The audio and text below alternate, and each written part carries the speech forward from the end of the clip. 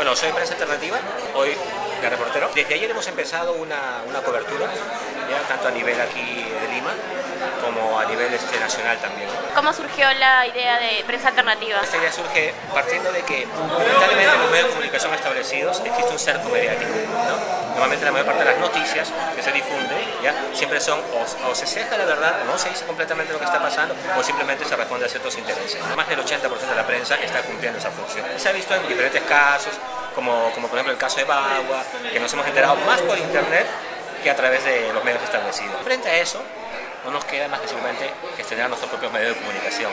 Entonces, estamos aquí desde comunicadores sociales, artistas, camarógrafos, periodistas, técnicos en, computación, en, internet, en, audio, en sonido. Nos hemos juntado aquí para sacar adelante este proyecto que busca crecer y tenemos este, colegas, compañeros que nos están apoyando a nivel nacional y también tenemos reportes a nivel internacional que nos informan de acciones que se están haciendo. ¿Cuánta gente es prensa alternativa?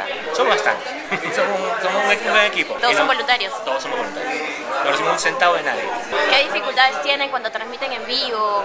Siempre hay típicas dificultades técnicas, a veces las conexiones están un poco deficientes, o qué sé yo, miles de cosas, ¿no? A veces una, un adapto no cumple con sus funciones, cosas que se resuelven inmediatamente, pero tratamos de tenerlo todo bien preparado, a veces tenemos que improvisar, un poco de ingenio, siempre es bueno, ¿no? ¿Cómo hacen con los equipos? ¿Cada quien viene con sus equipos? Claro, aquí cada quien pone la suya.